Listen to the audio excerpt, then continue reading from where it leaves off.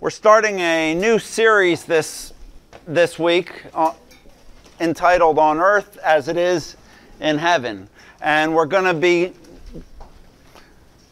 You know, some, someone has put it this way that you could sum up the Christian mission by saying the job of Christians is to bring heaven into earth. The whole Christian mission is summarized and simply it's the chore of bringing the glory and the grace and the love of heaven into down, down to earth. This began when the King of Heaven came from heaven to earth, and it continued through his ministry. Remember the kinds of things Jesus did as he healed the sick, as he gave sight to the blind, as he fed people who he knew were hungry, as he even kept a party going when they, they ran out of wine. These were all things that were pictures and intrusions of the power of the kingdom of heaven to earth.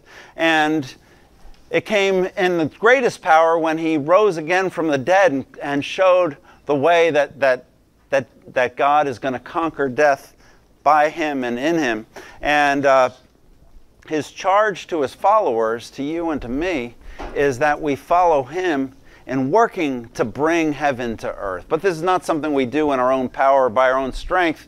It's actually something he does through his people. And one of the ways he does that through you and me is through prayer. And, you know, those, those words, those familiar words pr- that we should pray pray, Thy kingdom come, Thy will be done on earth as it is in heaven, are all about that charge, that mission to bring the presence of the kingdom of heaven to earth here and now. And so for the next couple weeks, we're going to be looking at the Lord's Prayer. And uh, I don't know, some of you might be familiar with the Lord's Prayer. I know for me, I heard it first as a little kid sitting in church, and just like we did today, you would hear the whole congregation kind of break out into this thing. And after a while, you memorized it, and it sort of became this background noise that you'd hear as you're sitting in church fidgeting and trying not to get in trouble, but uh, really wishing you were somewhere else, you know? Um, it's sort of just part of the church liturgy. And then, you know, what happened for me when I became kind of a, a student of the Bible and started studying the Bible for myself, discovered that there was profound meaning in the words of the Lord's Prayer. In fact, there's books and books and books written just about the Lord's Prayer and the concepts that are in the Lord's Prayer. And so I said, wow, that's, that's really an interesting thing. And so I started seeing the Lord's Prayer as sort of this summary of Christian faith and, and life, in a sense. And then later in my ministry, I started volunteering at a place called Market Street Mission, which is a, a recovery uh, ministry for, for people in, in the town I used to serve in.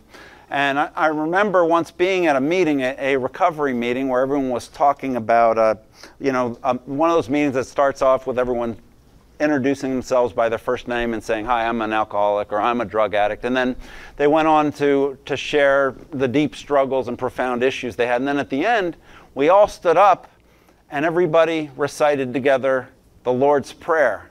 And it was eye opening for me because after sitting in that meeting and hearing the stories of those guys and then saying the Lord's Prayer, it took on a whole new meaning, a whole new significance, not just an abstract theological summary, but you know, what does it mean to pray, Thy kingdom come, Thy will be done, forgive us our debts as we forgive our debtors, and lead us not into temptation, but deliver us somehow, deliver us from the evil one. And to, you know, to talk to people to, or to hear that recited by people who are actually struggling and fighting for their own deliverance and asking God for their deliverance gave the, the prayer a whole new meaning.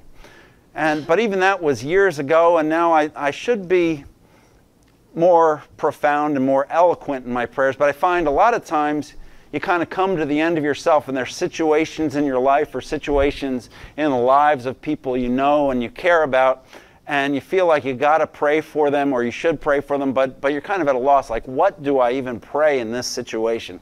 What how do I possibly pray for this person or for this for this problem that I'm facing or for this for this circumstance that I just can't manage? And and you know what I've come to a useful thing to pray is our father who art in heaven, hallowed be thy name.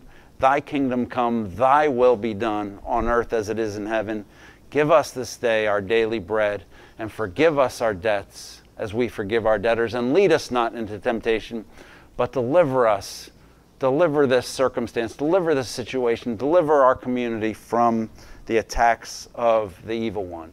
It's not the most profound or, or, uh, or uh, esoteric of the Bible's teachings, but I think it's one of the most useful ones. And so that's what we're going to be looking at the next, the next few, uh, few weeks here at church. And, and if you get to the place where you can just simply recite that prayer and apply it to whatever problem you're having in the moment and understand what you're saying, then we will have accomplished our goal. And we're going to start with a salutation because we take this for granted. And, and, if you were raised in the Roman Catholic Church, I think you might refer to the Lord's Prayer as the Our Father. But Jesus' disciples asked him how to pray, and Jesus said, This is how you should pray. First of all, say, Our Father in heaven.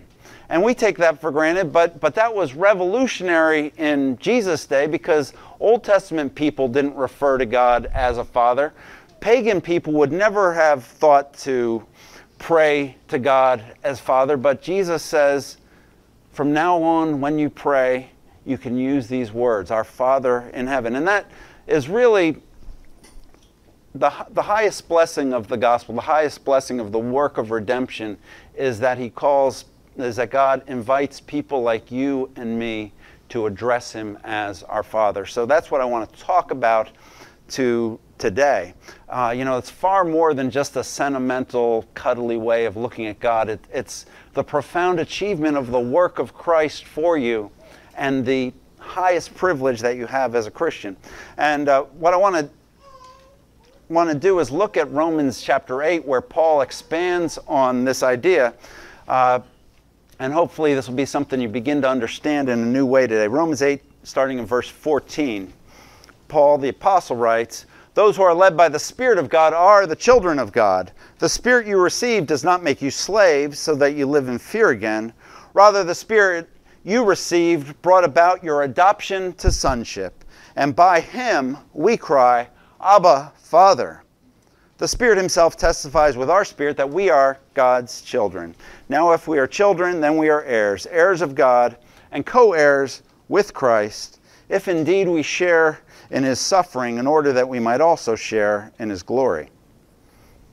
I consider that our present sufferings aren't even worth comparing with the glory that will be revealed in us. For the creation waits in eager expectation for the children of God to be revealed. For the creation was subjected to frustration, not by its own choice, but by the will of the one who subjugated it, in the hope that the creation itself will be liberated from its bondage to decay and brought into the glorious freedom of the glory of the children of God. We know that the whole creation has been groaning as in pains of childbirth right up to the present time. Not only so, but we ourselves who have the first fruits of the Spirit groan inwardly as we wait eagerly for our adoption to sonship, and this is the redemption of our bodies. And this is God's word for us today. So, what I believe and what, what this passage shows us is that bringing heaven to earth begins with you personally beginning to understand what it means to be a child of God. Because what is heaven? In essence, one of the things heaven is, is it, it, it'll be that time when finally the fullness of your, your sonship, the fullness of your adoption is experienced in your life but we can begin to experience that a little more as we understand and as the Holy Spirit works on us. So I want to just go through four things here. First, this salutation, Our Father, tells us of our status before God, which is the basis for prayer. In the pagan world of the ancient Near East, the basis for prayer was usually sacrifices people would bring. They bring their goats, they bring their sheep, they bring money maybe to the temple, and they'd make a sacrifice, and based on that sacrifice, they might be feel permitted to offer a uh, offer a prayer or a request to God. And in the Jewish, the Old Testament people usually thought in terms of their compliance with the law. If they had kept all the rules, if they were following all the laws of God, then they felt they were entitled to come before God and make their requests to God. But Jesus comes and he says there's a new way to come before God. He's not a king that you need to bring an offering to. It's not, it's not, he doesn't have a checklist and he's making sure you've crossed off everything and then he'll hear your prayers. But he invites you to address God and think of God and experience God as your Father in heaven. And this was a revolutionary idea. This was a new idea, a new way of thinking about God and addressing God that Jesus introduced to his disciples. It wasn't something he, he inherited from someone else. It was saying, you've got to completely rethink how, who it is you're praying to and how it is you're getting through to him. And when you pray, say, Our Father who is in heaven. And so that was Jesus' idea. And then, then just so you understand, now we're looking at Paul today, and Paul took that idea and he ran with it and he developed it further, particularly in Romans 8 and Galatians 3 and in other places. He developed this idea of what it means to be a child of God, and, and in other places in, in the New Testament, it's developed further as well. But Paul's interesting contribution is he, he looked at Roman law in his day, and, and the Romans of the first century had incredibly strong adoption laws. So that in Roman law, if you adopted a child, that child was given all the full rights of a naturally born child and all, all of the privileges of a naturally born ch- ch- child, so that adopted children and begotten children were were on the same uh, playing field. And that's what Jesus came to do. What the Bible tells us is that God has one begotten Son. For God so loved the world that he gave his only begotten Son. You know that? Some of you heard that verse before? Nod your head if you know that verse. God has one begotten Son, but through the generosity and through the work of that one begotten Son, God has found many adopted children. And as this passage says, we're all co heirs with Christ. Jesus comes to be our King, but also to be our Savior, but also to be our Redeemer, and also to become our brother and to share his status, to share his access to God with us. As Jesus, or as Paul here says, you can pray, the Spirit in us cries out, Abba, Father. He's using the very words that Jesus used when he prayed at his most desperate and most earnest times when he was addressing his Father who was in heaven. So, what this means is to be a Christian, it's not simply that you're saved from hell. It's not simply that you're right about religion and other people are wrong about religion. It's not simply that you were raised in America and not in, in India or a place where people believe different things. But it means, in essence, that you are invited into the presence of God and you can relate to God as a father would relate to his children. It's, you know, our relationship with God is not a boss employee relationship, it's not a customer vendor kind of relationship. It's a family relationship. You know, if, if God is your boss and you're his employee, then, you know, there's a danger that you might get fired, right? Or if God is a vendor and you're a customer, you might say, well, this isn't working out for me. Or, or the vendor might say, well, you can't afford what I'm giving anymore. But if God is your father and you are a family member, that relationship is completely different. And so our relationship with God is based on this status that we, that we call him father. I mean, one way to look at this is, is you think of, think of your family, and probably many of you, and you think of your family, your extended family, there's people who you're related to, where if you weren't related to them, you would have no relationship with them. Can, you, can everybody visualize that person? If you can't think of that person, you might be that person. Just, just keep that in mind. Uh, but, uh, but, but, that, but, but you, you maintain that relationship and you see them at Christmas and at Easter and things like that because they're family, right?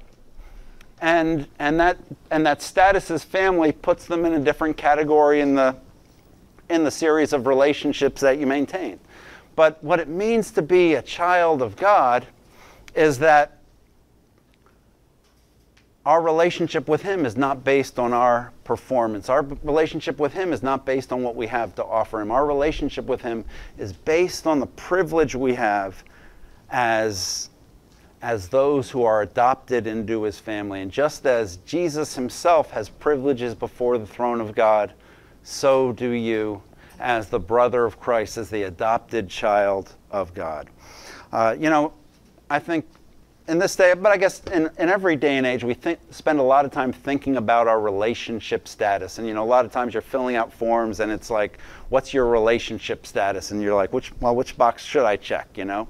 Single, in a relationship, or just it's complicated and, and you don't know which, which one applies to you. And, or then if your relationship status changes, you're like, well, do I want to update this on all these things? If I update my relationship status on Facebook, is it going to send an announcement out to 1,200 people who I've known over the years?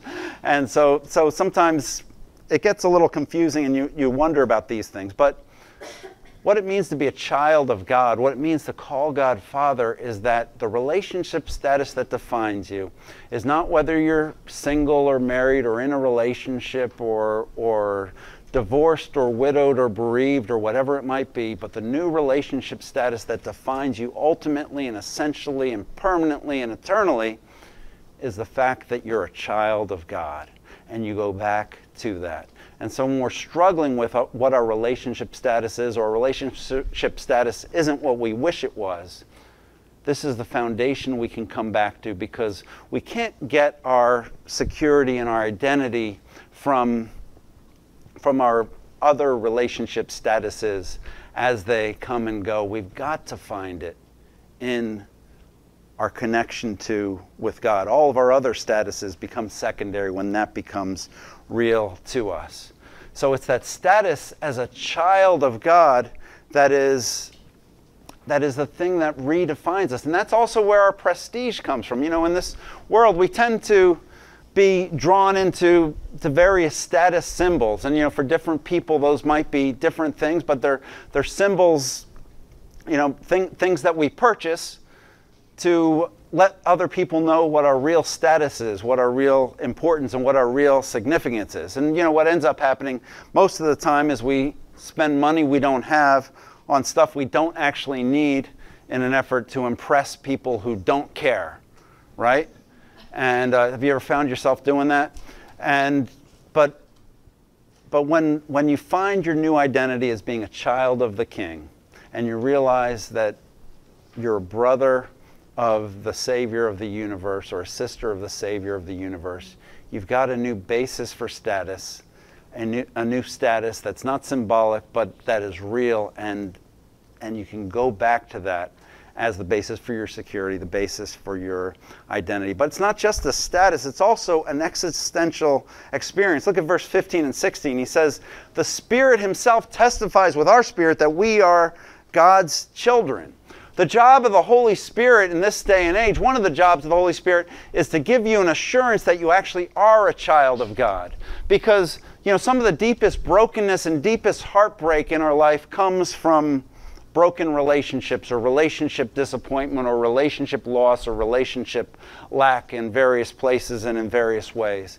And this idea of being a child of God, this, teach, this New Testament idea of being a child of God, is not something that, that we just paint over all of those things, but it's something that goes to the core of your being. And the Spirit of God testifies with your spirit that you are a child of God, and that's what heals you. That's what makes you whole. That's what gives you peace. And that's what gives you joy in all of the ups and downs and tumults and fears that we have in life. And so, so it, we have the status of knowing God's our Father, but then we also, by the Holy Spirit, should have the experience of the Spirit testifying with our spirit that we are indeed children of God. And when we're experiencing bad things and difficult things and painful things in other areas of our life, we can go back to this hope, we can go back to this reality, and we can go back to this dynamic in our lives. And uh, like I mentioned, he invites us here. He says, The Spirit testifies with our spirit that we are, we are God's children, and it calls out, it enables us to call out, Abba, Father. And that's to echo the prayer of Jesus, the intimacy that Jesus had, the assurance that Jesus had when he prayed in his most desperate moments and he was calling out to God. That those are the words that we are invited to use. That's the that's the experience we're invited to have.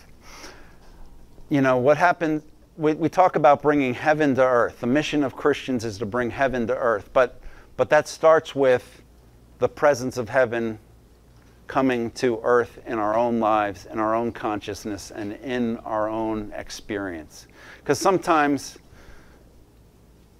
life on earth can be a little hellacious for the best of us, and even for the most charmed of lives. Lives. And how do we, how do we manage that? You know, we want to escape, we want to run away, but, but what the Bible invites us to do instead is to go back to and be renewed in our experience and in the reality that heaven has come down to earth and the presence of heaven can come to earth to us and through us and with us as the Spirit testifies with our spirit that we are children of God. Our deepest pains and our deepest losses and our deepest griefs, and believe me, life here has its pains, it has its losses, it has its griefs but they find their resolution, they find their relief, they find their restoration as we experience what it means to pray, Father in heaven. So it's a new status, it's a new experience, but it's also a new struggle for us. In verse 17, Paul says it this way We're co heirs with Christ. He shares with us his inheritance, but we also share his sufferings. There's a challenge that goes along with finding your new identity as a, a child of God, and, and it can be a, a life shaking challenge. You think of the life of Christ as the, the Son of God who came down, and uh, life was pretty difficult for him, right? He was misunderstood a lot of times, and, and a lot of, uh, he had to work through a lot of, a lot of challenges. He was despised and rejected. He was let down and denied by his friends, and nobody really grasped the vision that was driving him. A lot of, and as he was on earth, remember, even though he had this intimate relationship with God, a lot of his prayers went unanswered. And he even went through his own dark night of the soul, even as he was conscious of and even as he believed in his identity as a child of God. So that's a fair warning to you and to me, to all of us, if you're going to claim this identity. It doesn't mean that life's always going to be easy. It doesn't mean that all of your plans are going to succeed and everything's going to work out the way you want it to. It means that in the midst of all that, we can, we can have hope. In verse 22, he puts it this way that the creation was subject to frustration and that all creation groans. We're in the groan in, in the stage of history where creation groans. And we don't have to look far for that. We look globally with, uh, with how the environment is being affected. We look socially with the divisions in society. We look uh, nationally and internationally at the conflict between nations and the conflict between groups around the world. We look uh, we look at the political environment in our country and in every other country, and there's all kinds of things that are broken. There's all kinds of things that are unfair. There's all kinds of people who are suffering in, in all kinds of difficult ways. There's pathologies in our cities, there's addictions in the suburbs. Closest to home for many of us, there's breakdowns in our closest relationships with our, with our family members uh, and, and there's bodily breakdowns for others of us when we suffer with serious physical problems. But Jesus entered into the groaning of creation. Jesus participated in the groaning of creation so that he could be a part of the redemption of creation. And Jesus' identity as the Son of God didn't exempt him from suffering. In fact, it caused more suffering. It, he was intent, it was intensified because of his connection with the Father and because he felt accountable to do what the Father wanted him to do, not was, what was easy or expedient in the moment. And so the challenge for you and me, if we take this mantle, if we decide to live this out, and if we find our ultimate status as children of God, then we're going to be making unfortunate decisions that result in all kinds of difficulty and hardship for us, just as Jesus had to for us, for had to had to suffer and had to work for us. So the challenge is as we share in that status, we're also going to share in his sufferings. Uh, we, we'll have we'll share in the brokenness and loss and pain of this world will be another thing I think that happens as you grow in this. You become more sensitive to the groaning of the world, whereas you might be inclined to just live your life and, and take care of yourself and, and take care of the few people that are closest to you.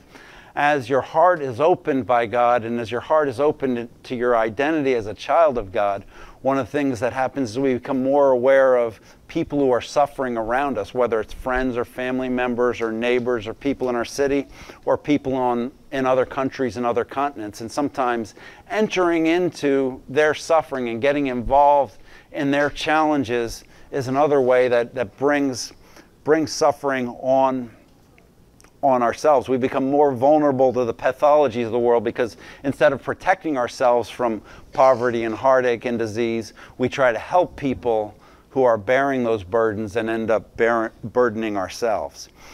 And uh, so, so I just want to say that Paul is tremendously re- realistic. On the one hand, he gives us this glorious picture of being a co heir with Christ, and then he says, but oh, by the way, in the meantime, you're going to have to share in his sufferings, so that one day you will also share in his glory. So, bringing heaven to earth is not easy and it's not painless. In fact, it's probably more painful than just settling in and getting comfortable on earth.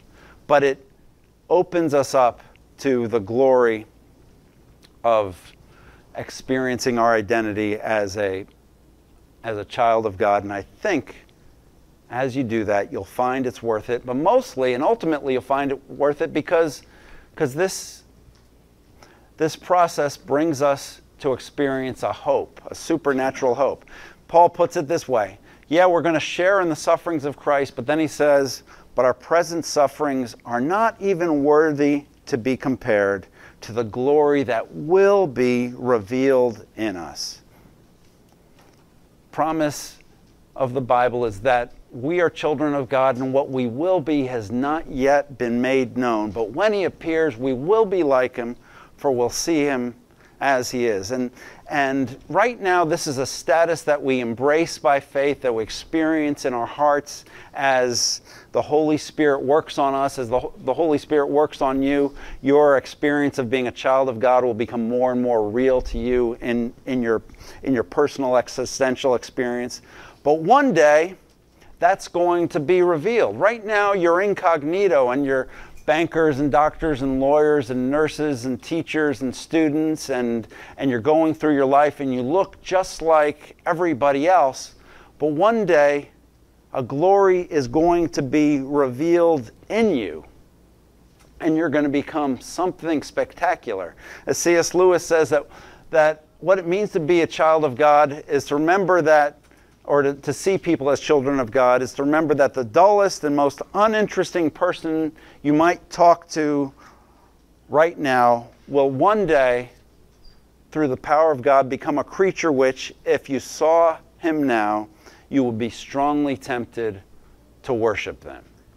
You know, that's what, what Paul is talking about when he says, Our present sufferings are not worthy to be compared to the glory that is going to be revealed in us. The glory of what it means to be a child of God is something that's so blinding, something so staggering, something so so so powerful that that it's veiled to us right now just as it's veiled to everyone else. And we experience it by faith. We experience it through the power of the holy spirit. And, and even as we go through our lives incognito now keeping it kind of a secret between us and god and the holy spirit that actually I'm not a teacher. Actually, I'm not just a student. Actually, I'm not just a dad or a mom. Actually, I'm a child of God Most High. And as we go through all the frustrating things that life throws at us and all the disappointments and all the humiliating things and all the irritating things. And, and there's something in you that knows you're made for so much more. And something in you that, that knows that your life is supposed to be so much more. And something in you that knows that there's nothing in this world that can ultimately satisfy us. That's all serves to point us to the fact that what will ultimately satisfy us is something beyond this world, something that's coming to this world. And that's the full experience of our new identity as those who are children of God. You know, right now, the struggles and the losses that we have loom so large, but one day, what's going to be revealed is the glory in us, the glory in us as those who've been adopted by God, the glory in us as those who are brothers of Christ. Remember at the transfiguration, right before Jesus' suffering, he was up with his disciples and he was transfigured before them, and they got a glimpse of his glory, and they could barely look at him because his face was so bright, because his countenance was so bright. But one day, that's how our countenance will be. One day, that's the glory that we will have. Right now, you know, we might be losing our hair. We might not like what we see in the mirror. You know, we might have, have various struggles. But one day, that glory will be revealed. One day, our job titles, our relationship status, our bank balance, our street address will all become inconsequent, inconsequential. One day, our pain and sorrow will be not worth comparing to the glory that we've had. And will take you will take your rightful place as a child of the king as a co-heir with Christ. And until then we can pray our father in heaven. Let's pray now. Father I just particularly want to pray for those who uh, are sharing in the sufferings of Christ at a level right now that is uh, feels unbearable to them. I pray that you would give them this hope, this hope of glory in the midst of the humiliations, the heartbreak, the rejections, and the agony. Give them this hope and help us to live in that hope and to have joy in the midst of our struggle because we know who we are. We are your child. Make that real to us, we pray, through Jesus, our elder brother. Amen.